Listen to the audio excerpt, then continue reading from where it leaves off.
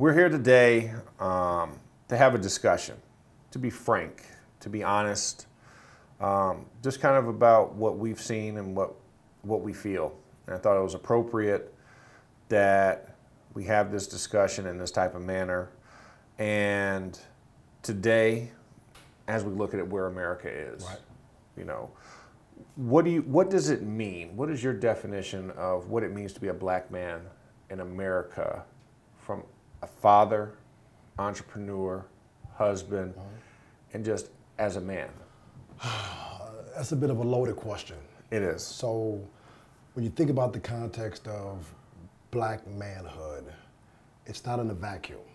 So, I don't have that privilege of just waking up every day and living in one lane.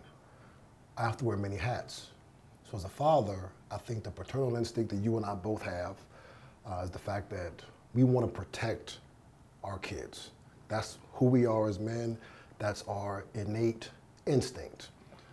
But I believe our position is a little bit different. I think at times we think of the idea of protection and it's reactive. Well, somebody did something to my kids, I'm gonna, it's reactive, right? Correct. We don't have that luxury. We have to play a very proactive role. I've talked more about how to conduct yourself when you're pulled over with my boys than I have about sex. And I have two high school age boys. You know what that means. Exactly. So, with that said, that's one element that you have to understand and embrace as a black father. Another element of the world that we live in is, you know, sometimes a part of being a black man is being perceived as a threat. And along those lines, it means that I may have to go outside of my way to make someone else feel comfortable. I may have to make sure that when I'm at the grocery store and some woman doesn't feel comfortable near me, I have to go outside of my way where maybe that day I don't feel like smiling, but you got to flash a smile to make her feel safe. So I think it's a it's a host of uh, pieces of luggage that we have to carry, but it's a part of who you are. I think if you can embrace these roles, life's much much easier. And I, th- I think that's that's the reason why I put it in so many layers because mm-hmm. that's how difficult it is on a daily basis just to handle one of those tags. Right. Because as you leave the house, like like you just talked about how you are as a father and mm-hmm. how you have to react, but it's like to be an entrepreneur or to be somebody else. People want to put you in a box. box, yes. because it's comfortable, it's mm-hmm. convenient, it's neat, it has mm-hmm. four sides, mm-hmm. you know, and it has a top you can put on it where you don't have to look at it. Right. But for Tuck it us, away. yeah, tuck it away, boom. But I think you know it's it's so important to for people to understand that when you leave the house, that's one battle. because now I've set myself up to potentially be that target. Correct. I might be perceived as a threat. might be perceived By as a somebody. Mm-hmm. threat by someone. I can't affect what somebody else thinks about me. But we have to go out of our ways to present our best selves to the masses so that we can hopefully detract from a heightened sense of frenzy. Correct. You know, along those lines too, it's similar with business. So on the entrepreneurship side, I know that my bandwidth or the runway in terms of mistakes is very short. And an incident, incident happened. One of the businesses is uh, sell football equipment, and it does really well. And I love it. It allows me to express my, I guess you can say, creative side. But I had an incident when I first got going. Had a program, college program, reach out, and was interested in purchasing equipment. And they said, uh, "Could you please just send us some samples? We'd like to test out the quality before we buy." And I said, "No, absolutely not. Would I do that?" Now, at that time, because some may say, "Well, it was a new company." We had, if you go through the social media at that time, we had uh, had purchases from Alabama, Ohio State, some of the most prestigious programs. But this one particular program, they wanted more proof. And that's part of the, the reality that you live with in black entrepreneurship is that you're constantly in a position where you have to prove yourself. But here's the irony of it. I think every entrepreneur will say, well, that's the world that we all live in. Here's the distinction. Even once you reach a level of perceived excellence, you don't get to stand alone at that zenith of greatness. You're always putting, being put back into this box of, well, this guy over here sells it for less. This guy over here, who more than likely is exponentially less qualified, less informed, is still put into the same category as you, not because of his quality of service, not because of the excellence of his product, but because of how he looks. So that's one of the, the, the hurdles that you constantly deal with. But again, this isn't to, to whine or uh, pout about, it's so hard to be a black man. This is far from that. I think what we have to do is begin to have much more intense dialogue. So at some point in time, you can really understand more wholly where I'm coming from.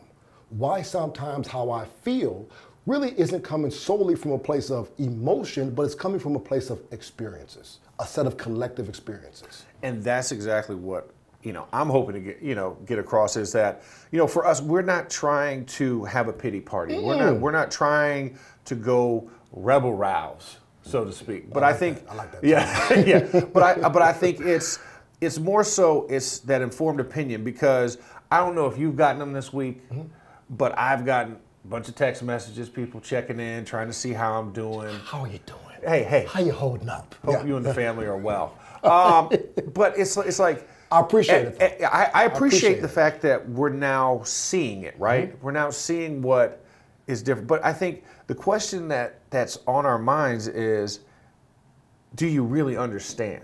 Correct. Right. It, I get the emotion now, but do you understand the long complexities? Like it's not as easy as saying, "Why are you mad? Mm-hmm. Why are you upset? Why mm-hmm. are you pro?" Mm-hmm. Because it's such, like you said, it's a loaded question. To go yeah, back to the beginning, because there's history behind it. There's experiences mm-hmm. behind what it takes to be here. And what you see when you look at me is not the accumulation of my experience, right. but it's the obstacles I've overcome to be here at this moment. Mm-hmm. And I mm-hmm. think that's what's important. But I think here, here's the next question is what do we do to continue this proper carrying of the dialogue and make this so that it can be sustainable mm-hmm. as opposed to being a passing mm-hmm. fad or trend? To be to be frank, I'm not sure if what we're seeing right now is truly sustainable based on where it's coming from. It's a response of emotion. And with emotion, it's fleeting. It comes and goes. I'm mad today, but tomorrow, mm, I'm not as angry anymore. I'm hurt today, but in time, I'm not as hurt anymore. And what I'm really trying to say here is this, is that what we're seeing now is this purging of white guilt, white shame. And I go back to part of that issue is I am not a fan, and this may come off uh, a bit controversial, but I'm going to provide context. I am not a fan of the whole concept of Black Lives Matter. Not a fan. Here's why. Black lives have always mattered. I was created in the image of Christ. I have the blood of kings and queens running through my veins. I'd be damned if I'm going to have to prove my humanity to anybody. Because if I'm in a position where I have to allow myself to get to the point where I need you to recognize my humanity, I've given you all of my power. Because if that's a privilege that you can grant me, that's a privilege that you can take away. And I'll be damned if I'm going to put myself in a position where my humanity is going to be revoked because of circumstance. I.e., I get pulled over, it's a little dark, I have tinted windows, and I don't roll my windows down fast enough. Or maybe the tone of my voice at that particular moment was a little bit combative. Officer, what am I being detained for? Officer, what am I being pulled over for? At that point, I have a 50 50 chance of going home. At that point, that privilege of being a human being goes out the window. I don't have that privilege anymore. And so the problem I take with this whole concept of Black Lives Matter, mothers, black mothers have been saying this for centuries. Nobody wanted to listen. People didn't want to believe it. But here's what's happened. We've seen instances repeatedly of black men being gunned down, either by the police or by vigilante hit squads. We've seen this. This isn't new in our country. But the difference between the past instances and what we are seeing right now, which is part of the, the emotional response we're seeing by so many people, is this. In the past, it was generally a bang bang circumstance. And at that point, I can go to my what about? But what about Rolodex? But That's what right. about the fact that the it was dark? But what about the fact that the officer was scared? But what about the fact he was resisting? But what about but I can keep flipping through that, but what about Rolodex forever? And I can always come up with something circumstantial that just removes me, or I was more so say removes my humanity from the situation. Cast doubt. Bingo. But in this instance, we had eight plus minutes Eight minutes, 46 seconds. of watching a human being be murdered. I have eight minutes of flipping through my Rolodex of but what about, and I can't find that card. But it's dark.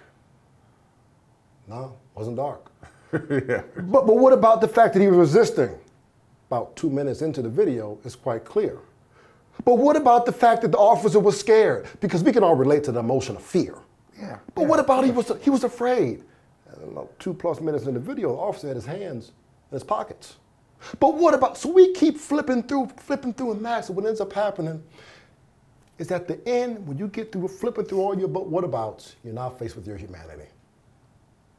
What side of the coin are you now going to stand on? People now have to choose. But what the good thing, well, the good thing that's come out of this is this. The people that we've been fighting for so long to convince you that my life matters, they continue to show you they, it doesn't matter. So I don't need to talk to you. But you're seeing this remote, this emotional response of really good people that are saying, yeah, there's, there's no but what abouts here. But similar to Talladega Nights, Ricky Bobby, Yeah. what I do with my hands. they don't know what to do.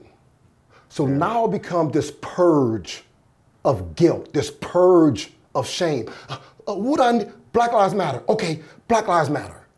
BLM. BLM. oh, hold, hold, hold on. Okay, so what I social media, black box, want me to post that? Okay, I'll post that.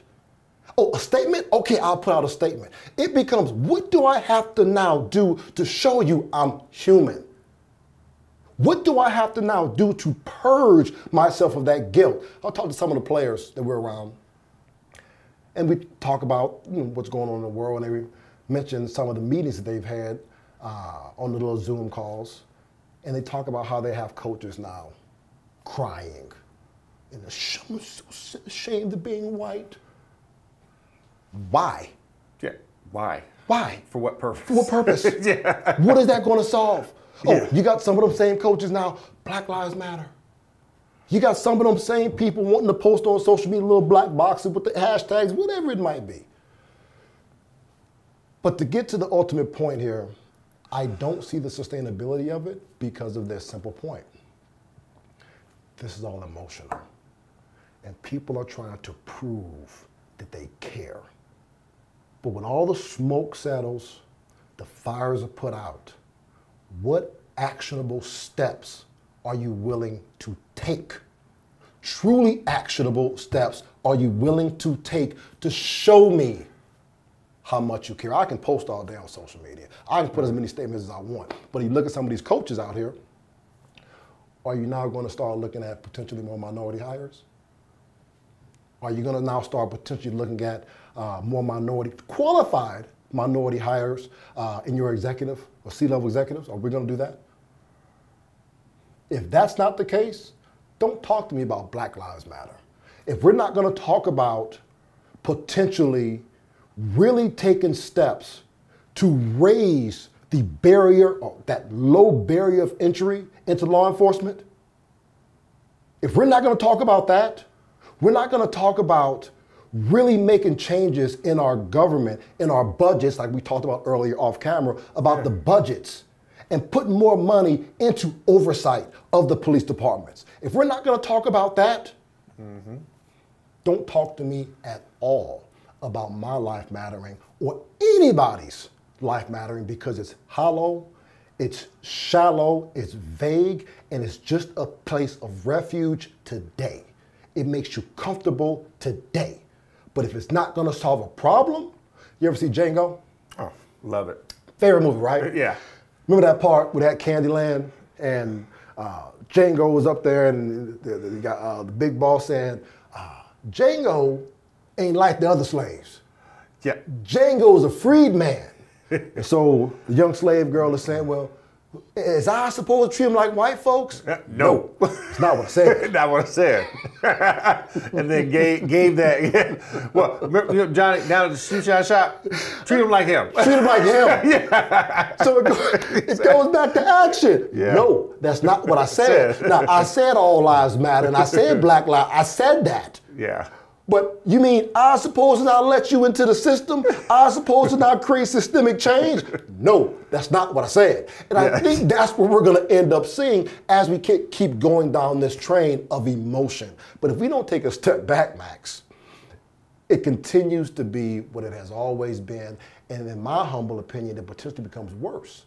Because so many people that have now aligned themselves, when the next situation comes along, because it will, I don't have to fight as hard anymore because I did my part. I posted on social media. Exactly. I told I, you I cared. I got the photo up. I told you I cared. I put a statement out already. I made a donation. what more do I need to do now? So, anyhow, um, that's where I stand on it. And I think that that to me is the most concerning, is the inception of all of this. It shouldn't have taken eight minutes of watching a snuff tape of a man being murdered for us to get to this point. Because for centuries, black mothers have been saying, Black Lives Matter. Well, and think about this, and I'm, I'm, and here's the thing: I'm glad you provided the context with it because it could be a salacious headline, right? Yes. That can, oh my God, LeCharles Bentley I'm canceled. said Black Lives Matter. That's it. Hey, cut, turn the lights off. Right. Studios closed. Right. But I think, like you said, I mean, because the difference is today we have those cameras, mm-hmm. we have the social media mm-hmm. devices to spread things around the world, but we got pictures in history books of people posing with people hanging in trees. Mm. That wasn't quick. That wasn't enough. I believe that's asphyxia, right? As clearly, well. clearly. So that took a modicum of time, mm-hmm. but because it's a photo, it's black and white, it's old. It's not tangible. It's not. T- it's not recent. It's not recent. It's recency bias. Mm-hmm. We can bring that into the conversation. But what about? yeah, so what about recency bias? Yep. But it's like this has been happening, and just because the tapes are now rolling, just like these cameras are rolling for us mm-hmm. right now. Mm-hmm now it brings it and it was sustained sustained, sustained. it wasn't like you said it wasn't bang bang, bang. No. it wasn't a shot it mm-hmm. wasn't a struggle and and action mm-hmm. happens mm-hmm. and what i want to see is it takes long term just like the video itself how it took time for it to happen Correct. the same thing has to happen for change right yes you have to have a long sustained route and i think that's what makes it so tough to say because will we still have this same fire come November when votes matter. When it matters. Where you're looking at who your state, who your federal, mm-hmm. and then who your president is. Like there's multi levels. Like today, we have a vote here in the city. Mm-hmm. You were talking about it. about yeah. Office Office of Accountability and Transparency, Citizen Review Board, Mm-hmm. and how it's so underfunded at a local level. And then how do you how do you make those changes? It starts at local level. Yes. And you got to be involved. And then you look at well, hey, what, let me call my black councilman. A what? Who? You know, your state representative. You have a state house and a, and a state senate. Uh-huh. I mean, I know we got a mayor and I know we have a governor, Mm-hmm. but what are these other names? And that's where it becomes that education, Correct. and it becomes enlightening people to know that that you can see federal things. We can see what's up at the mm-hmm. top, mm-hmm. but realize it starts in the ground, starts at the roots level, and that's what your local government is. And Max, and that's that's a great point. We can we can talk opinion all day. All day. We can talk about the systemic issues that have plagued black and brown communities for centuries. We got to change this. We got at the high elite level. we- We got to make these systemic changes. That is true. But there's low hanging fruit that we need to start picking Yes. by the bushels, the basket loads of the low hanging fruit that we have to now start going after now. And to your point, it begins at the local level. We're not going to be able to change what's happening up top tomorrow. It ain't happening. But we had we had someone at the top, right? We've been there before. Been there We've been years. there. There But- for eight years. Eight years, but we had nothing for him to stand on. Correct. Because we keep missing the opportunity to pick that low hanging fruit. It was the Brown, Brown versus Board of Education was 1954. 1968 was the Civil Rights Act. That's by my math. Now I did go to Ohio State. I think that's 14 years. Yeah, you are correct. how- yeah, yeah, I'll cross-reference it with my Florida education. Okay, good. Thank you. Pretty much that. With that said, but Ohio State is like the Ivy League of the Big Ten. But anywho, we'll talk about Uh, that. of the Big Ten. Of the Big Ten. so we're talking about 14 year span between two landmark pieces of legislation in our country. 14 years. You can't sustain a hashtag for 14. We we can't sustain a hashtag for 24 hours. Yes. We can't sustain a motion for 14 years because at some point what's going to happen, Max, the cameras are going to go away, the riots are going to go away, and now we have that time span to start picking that low-hanging fruit. But if we aren't educated enough to understand where it starts or impassioned enough to now begin to take those steps, I'm talking about our white allies, black folks, brown folks, if we don't impassioned and emboldened enough to begin taking those steps to start picking the low-hanging fruit and know where to go to do so, we'll be right back here again at some point. Yeah. And that's my concern is where and how we go about taking action. All this right now, I understand it. I get it. I am not uh, a pacifist. I understand why people are responding the way that they respond. But the issue that I take with how we respond goes back to the, the, the privilege of being recognized as a human being. And here's what I mean. George Floyd was wronged. Period. No ifs, ands, or buts about it. But the response didn't make me comfortable. So now I don't have to focus on the issue.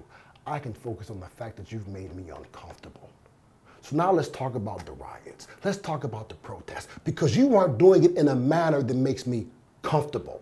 So what ends up happening is we don't have ultimately the privilege of acting in a way that doesn't keep those around us comfortable. It goes back to because you don't see me as a human. And if I have to convince you that I am a human, I have to convince you of my humanity, that's a privilege that comes and goes.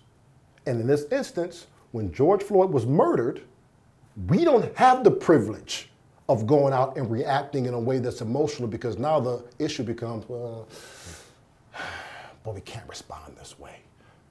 Well, when we were protesting peacefully, i.e., Colin Kaepernick, that was wrong too. That wasn't good enough. But now you got folks out here kneeling. oh, the irony of that. So again, Max, it just goes back to the whole idea of if I have to convince anyone of my humanity, I'm wasting my time. If you don't believe I'm a human being, if you don't believe that my life matters, you know what? For lack of a better term, bump you. And if we weren't on camera, I would say something else.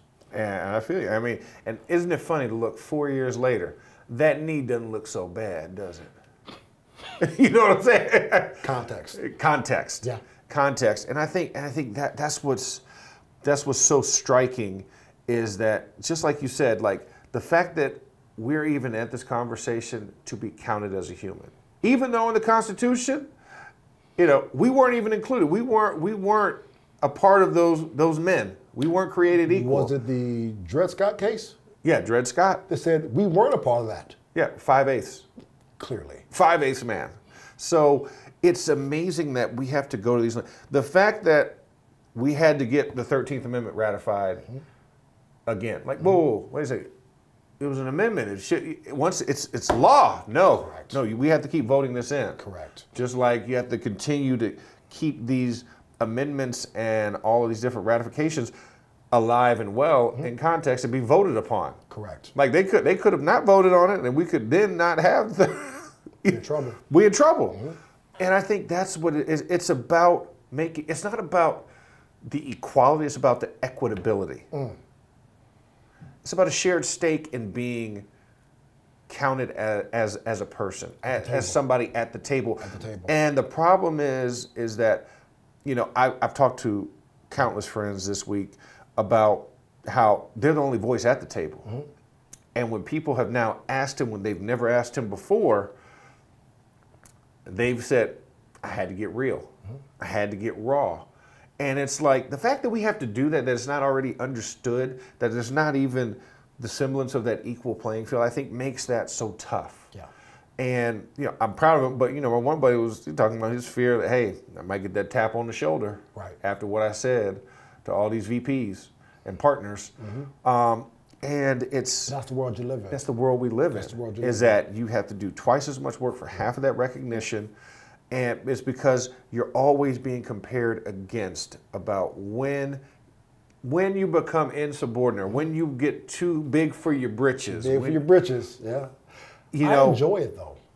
Uh, but well, see, but there, there, there's a lot of us that do enjoy it. Like you and I enjoy casting doubt or, ca- or putting a stereotype and stomping it into the stomp, ground. Stomp the hell. And creating a new narrative. We love it, but not everybody has that. not that. everybody has that they, capacity. They don't have that capacity. But that goes to, I think, you know, why I'm loving this conversation is it's our responsibility as black men, as patriarch, patriarchs of our communities, to now start empowering our young boys to get to the point where we are in our lives.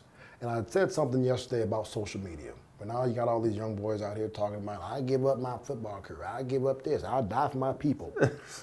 Look, stop. Yeah, yeah, please. Pause. Stop. Pause. Put, push the pause button yeah. on all of this. Because as a young boy said, you're really not about that life. Yeah, you're not BTL. You really, you really are not about that life. And if you really were about that life, here's what you would understand there are many of us that come and came well before any of us that are here right now that will claim we are so much about that life. And they were willing to die.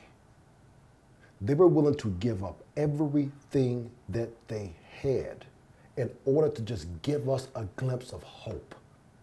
And you got these boys out here talking about, oh, full ride scholarships now. Yeah. yeah. Full ride scholarships. Exactly. Talking about I'll, I'll die for this and I'll get. Stop.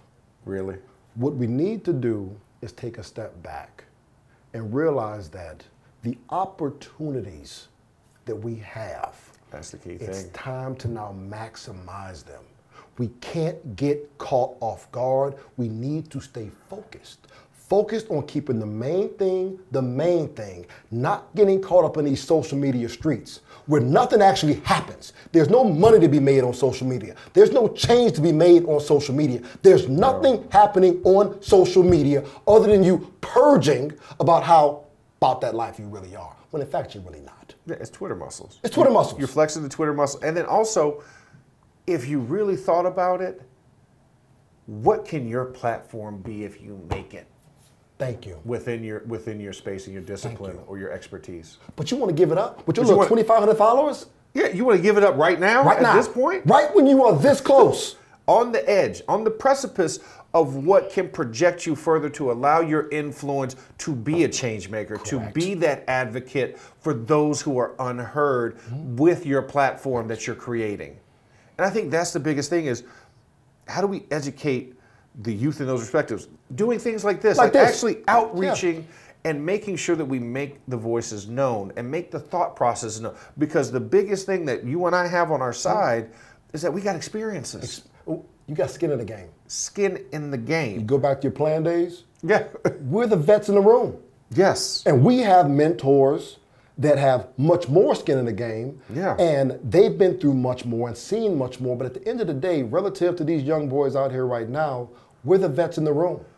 So if you're gonna listen to anybody, we're the one. How many businesses you own, Max?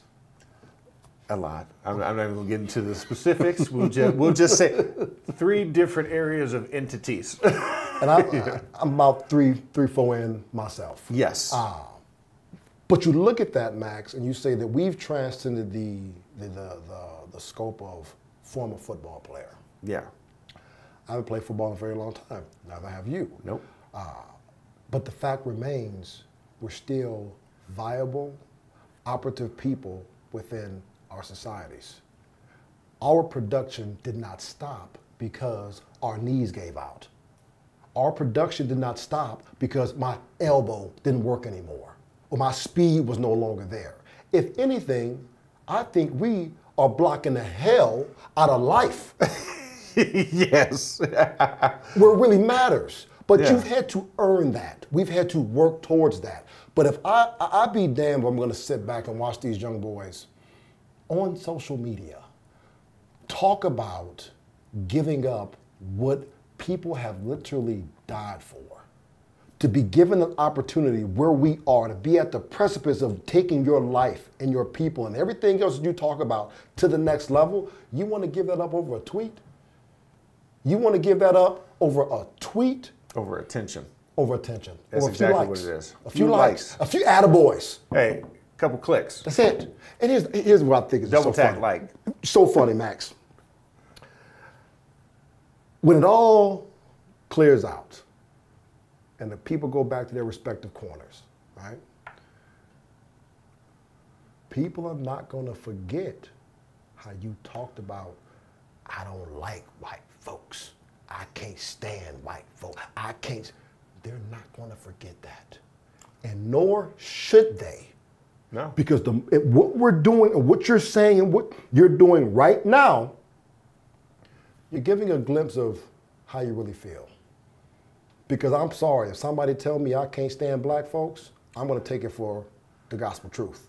Yeah, exactly. And you can't come back tomorrow and talk about, oh, I was just upset. So, so like I was trying to get my tweet sent, sent, What- and seen. I happened was trying to get some attention, and but it's not how I really feel inside. Inside. like you're different.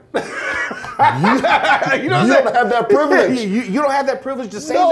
that. And and the thing that I preach to my kids all the time, every year at my football Mm. camp, I said, once you get on the internet, that's when your digital life begins, Mm. and they can trace you back to birth. So everything you put, out there, no matter if you think you erase it, get rid of it, uh, boom, put it, take it out of the Twitter sphere, Still it's still within Still the social digital universe, and those things matter. They matter. And they and you have a track record. I said it's different if you feel something in emotion, you can try and fight. Oh, I was just a senseless teenager. But no, why do you even have to go to that point? That point. Why are you putting your stream of consciousness out there in the world? Use an intelligent statement if it matters. And, it, and you feel that personal about it, you ask a friend about it mm-hmm. before you Talk post it, it, you yep. talk about it, mm-hmm. and then decide how you want to how you want to live or how you want that tweet to be perceived. Because once you open that book and put it out there on That's the camera, that's who you are, and it's also up for how somebody interprets what they read. That's a great point. Because, like you said, having to say, we got to have context before we went into the conversation earlier. That's the same thing. If you don't have context and you just show it in 140 characters, that's who you are That's who based you on are. whoever reads it. Exactly it. And that's the one thing uh, I feel young athletes have to understand. You have an opportunity, you have a platform, use it. Don't let it use you. Don't be a slave to your platform, Don't to it. that social media. Now is the time for you to take a step back and assess. Plan days. You get beat on the blitz. Now isn't the time to, Max, man, what you doing, man? What, you got it, man, let's go, man. And you get all riled up and all emotional. You want to go out there. We go, man, we gonna do this. We go. It's let's get to the sideline. Make the Sit adjustments. down. You take. It used to be the book. Yeah, it used to be a book. yeah, Now it's- now an it's a tablet. It's a tablet. It's a doing this, Surface right? tablet, So you know. we, we, we sit down and we talk. This is what I saw. This is what you saw. So we're probably going to get this again later. How are we now Hmm. going to strategize to avoid catastrophe down the road? That's what we do as athletes. Exactly. That's the advantage that we have. We have that capacity. But if it's simply me and you, man, I can't believe you, you let me down, you did this, we fighting each other, and then we get out there, you all, and then you turned up and you extra and out extra, next thing you know, ain't nobody getting blocked. Nobody. You make that mistake. You make that mistake. Big enough to hit two and don't hit one. Bingo. right, right? And that's where we are. Yeah. We're seeing that level of emotion instead of strategy. Yeah. Young brothers, let's take a step back. Let's get to the sideline. Let's get with your coaches. Uh huh. Yeah. Get with those Let's individuals. get with your coaches and sit down and start coming up with a game plan. And start realizing, you know what? It's coming back. You're Yeah. going to see this blitz again. It had success. It, it worked. It worked. So you're going to see You're it. going to see. And in fact, how it used to be, if you had a bad game, let's say for you, you get beat on the inside rush. You used to be able to say, for the next three weeks, I'm going to see that same rush from somebody. So Until I'm- you put it out, Bingo. it's going to be present because now you. it's on film for the next month. it's on film. It's on film. I got you on film. So that means that your next opponent's going to study that same tape. The opponent after that's going to study the same tape. And then the opponent after that's going to study the exact same tape. And they're all going to say, I can beat him on this. But if you have that person in your life, or those peoples and persons in your life, they're able to say, hey, you got beat right here. But here's how you stop it. So next week, this happens again, boom, we lock it down. Lock it and that's down. where we are right now. I'm not sure if we're at a place where we've got the strategy, the capacity, and the, the, the strategist Yeah, in yeah. place to help these young brothers really begin to organize themselves in a way that takes them in a position where we're now going to start stopping that inside move. Yeah, and but I think the fact that we acknowledge that is the first step, right? Right. And the fact that we know there's a plan that needs to be put in place, mm-hmm. that there is actionable things that we can do. The low hanging fruit that needs fruit. that needs to be picked. I think we do have a start, but I think, like you said, it's having that open and honest dialogue. Right. It's also having those young guys be willing to listen to the vets in the room that can cut. You know what I'm saying? That's the other thing that you're That's combating, right? Yeah, that's the hard. You're, you're combating the swag. You're combating, you know, the clout Mm-hmm. because it's like, 'cause who are you, you- former, For, you, who used to play for? active, active, no, former. Former. It's just like going to the grocery store and saying, "Hey, you look like you play football." Yeah. yeah, did You, have lost. you you've You lost that, that, that sex appeal, and I understand that. Yeah, and, and you get it, it recency bias. Yes, Right? yes, but what about? But right? yeah, Mhm. but I think the biggest thing is is that we were there. We've been there. The pitfalls that you're gonna go through, we probably either sidestepped them or fell flat in there. Flat into them. But we're like, don't get to the edge. Mm-hmm. Let's create a bridge for you. And I think that's the biggest thing, and that and that's also one of the reasons why I love what you created at OLP, mm-hmm. right? Because this is a place where the bridge is, is. Right, right. and you do have kids walking up to, to, to, to you and mm-hmm. asking or asking me or asking CJ. You, they have these resources and they use them. You know, I was on the phone with one of the guys Last night mm-hmm. we had a nice long back and forth with each other, mm. and that's what is creating. What needs. Yeah, you have to bridge because think about this: if you don't learn from your past, you don't know where you're going in the future. No idea. And so it's good to bridge those things. And for us, you know, you look at the histories of countries, it was uh, uh of the world. It started with oral traditions, right? Mm-hmm. You pass things on by oral until we figured out how to write on paper. We had something that could preserve mm-hmm. those things. But still, the tradition of oral history is here, and we are those village folk. We are those whoever you want to cut historians, mm-hmm. townsfolks, the shaman, whatever. We can pass that history and help you progress forward because if you look at what we've done and where we've carried it to, you pick up the torch and you carry it even further. Success leaves clues. Success leaves clues. And I may not be as sexy as I used to be, but in my mind, I think I'm pretty cool. I, I mean, I mean, I feel the same way. Mind. You can't tell me I'm not cool. You know, I- my hair started growing back. I, you don't we're, to not, acknowledge we're not, we're not going to go See, there. that's the problem. We're not going to See, go there. See, See, my hair is here. Conversation about black men getting together and just Yeah. acknowledging the successes of one another, but he don't want to acknowledge my new hairline. I don't want to acknowledge that because it's not a success. I, I want to continually be honest and not deny. I want to make sure I bring your truths to light and help you move further. Because if you believe you got a head full of hair over there, we've got a whole other show to start. So, so okay, cool. So I'm gonna go ahead and let that ride. Um, but with all what I'm trying to simply say is, we may not be as cool relative to being up on the latest. You know, we, we may Yeah. not be in that that category. But man, cool to me at this age is success. Cool to me is being able to parlay your success as an athlete into success as a father, your success as a husband, your success as an entrepreneur. That to me is cool. That Yes. to me says that you've taken what God has given you and you truly maximized it. And unfortunately, I don't think there's enough of us that are willing to, as they say, give game to these young boys Yeah. in order to do so. And all I'm asking these young boys to do right now, is just take a step back. Let's get to the sideline. Get to the Yeah. sideline, huddle up.